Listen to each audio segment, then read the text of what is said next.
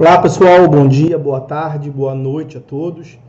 A decisão que eu separei para conversar com os senhores nesse vídeo versa sobre, versou sobre a, a ação cabível para a pretensão de retomada de um imóvel alugado. É, nós estamos falando do recurso especial 1.812.987 do Rio de Janeiro, RESP 1812 987. Como de costume, a referência completa do julgado e a ementa os senhores vão encontrar na descrição desse vídeo. Deixa eu, de início, apresentar para os senhores os contornos fáticos da pretensão que acabou desaguando no STJ. Na origem, nós tínhamos uma relação locatícia e é, o locador, o proprietário, o locador, veio a falecer e o seu filho e herdeiro notificou a locatária para que ela desocupasse o imóvel, porque ele, filho, herdeiro, não tinha mais interesse na locação e pretendia usar a, o imóvel diretamente, eh, exercer a posse direta do imóvel. A locatária não aceitou, ela queria permanecer é, no imóvel, e aí o herdeiro acabou ajuizando uma ação de reintegração de posse para a retirada da locatária do imóvel.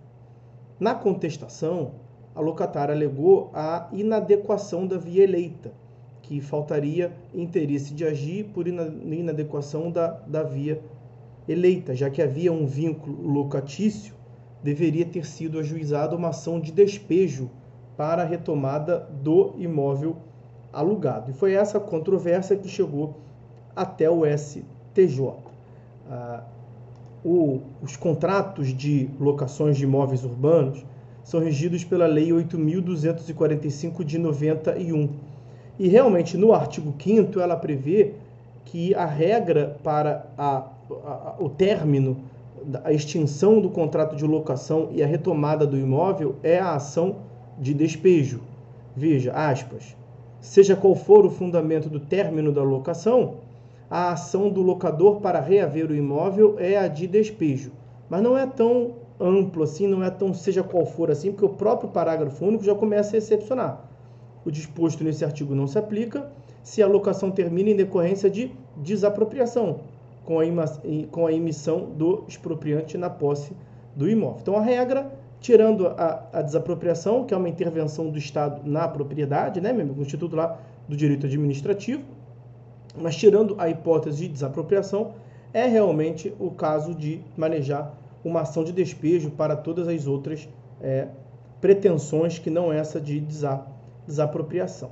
E aí, veja, o que, que foi alegado no processo, o que foi debatido, discutido no processo, além dessa exigência de é, propositura da ação de despejo.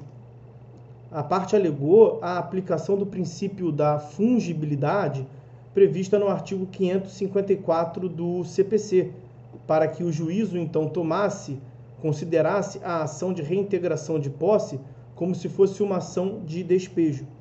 O artigo 554, mentira, que tomasse a ação de é, ação é isso aqui, tomasse a ação de reintegração de posse como se fosse uma ação de despejo para corrigir para corrigir esse vício quanto à é, via eleita. O artigo 554, como eu vinha lhes dizendo, ele inaugura o capítulo das ações possessórias. As ações possessórias são aquelas que visam é, repelir uma é, agressão injusta à posse. Então, em caso de esbulho, que é a perda total da posse, nós temos a ação de reintegração de posse. Para a hipótese de turbação, que é a perda parcial da, da posse, nós temos a manutenção de posse. E para o caso de ameaça de agressão à posse, nós temos o interdito proibitório. São as três espécies de ações possessórias reguladas a partir do artigo 554 do Código de Processo Civil. O princípio da fungibilidade, que realmente existe, realmente está configurado nesse artigo 554 do CPC, ele é exclusivo para as ações possessórias. Então, para que, o, para que a parte tenha proposto reintegração de posse e era caso de manutenção de posse ou vice-versa, o juiz considera a que mais se adequar à tutela jurisdicional a ser prestada. Por quê? Porque elas têm em comum o aspecto relevante de discutir unicamente a posse, sem qualquer relação prévia de direito obrigacional ou, ou contratual. Já na ação de despejo, como na hipótese dos autos, há uma relação contratual subjacente de natureza locatícia. Então, é do contrato de locação e é da, é, da, da legislação, do regramento é, dessas relações de locações de imóvel urbano que derivam diversos direitos e deveres para os sujeitos da relação locador e locatário, podendo daí resultar em uma situação de posse, mas a discussão quanto à posse ela é, é decorrente da discussão do, do contrato, né? Então, que, é, é verdade que o pedido nas ações de reintegração de posse e de despejo é o exercício da posse legítima ao final do bem imóvel. Mas as pretensões jurídicas são calcadas em, na, em fundamentos jurídicos distintos e têm, portanto, natureza distinta. Veja, a ação de reintegração de posse, como eu lhes disse, se baseia na situação fática possessória da coisa, quem está no domínio, quem está na posse legítima. É uma ação que visa proteger o possuidor legítimo. Já na ação, já na ação de despejo, o fundamento é a prévia relação contratual locatícia, regida por esta lei especial que nós vimos, a Lei 8245 de 91. Isso, consequentemente, inviabiliza a, a fungibilidade. Porque ao se permitir eventual é, fungibilidade entre a, a, qualquer ação possessória, como a ação de reintegração de posse, e a ação de despejo, isso equivaleria, ao final, a negar vigência ao conjunto de regras especiais da lei de locação, como seus prazos, suas penalidades, suas garantias processuais.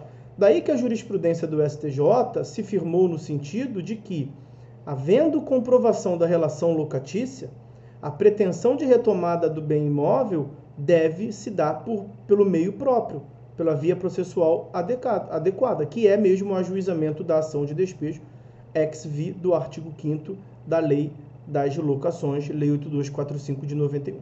Então, qual foi a conclusão a qual chegou o STJ neste julgado que estamos a ver agora, o RESP 1812987? A conclusão foi a de que, aspas, a via processual adequada para a retomada pelo proprietário da posse direta de imóvel locado é a ação de despejo, na forma do artigo 5 da Lei 8245 de 91, não servindo para esse propósito o ajuizamento de ação possessória, como no caso foi a reintegração de posse.